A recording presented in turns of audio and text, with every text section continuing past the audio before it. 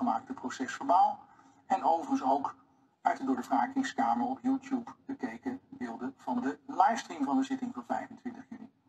En deze gang van zaken is ook door verzoekers op de wrakingszitting bevestigd. De wrakingskamer overweegt dan het volgende. Het is de taak van de kortgedingrechter om op basis van het gevoerde debat zelfstandig te beoordelen of de vorderingen in rechten toewijsbaar zijn. De kortgedingrechter kan daartoe ter zitting vragen stellen.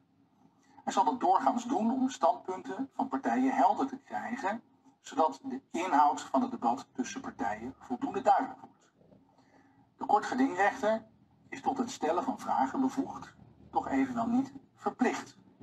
En in dit geval heeft de rechter, terwijl de duplik al was geweest, op uitdrukkelijk verzoek van eisers toch nog een vraag aan de staat gesteld die zij door de staat beantwoord wilde zien.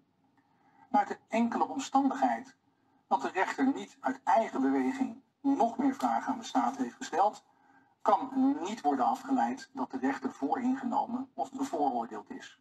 En ook is hierdoor de objectief gerechtvaardigde schijn niet gewekt.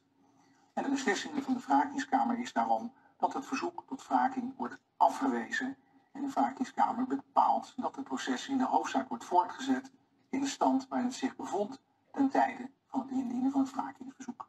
Dat was de beslissing.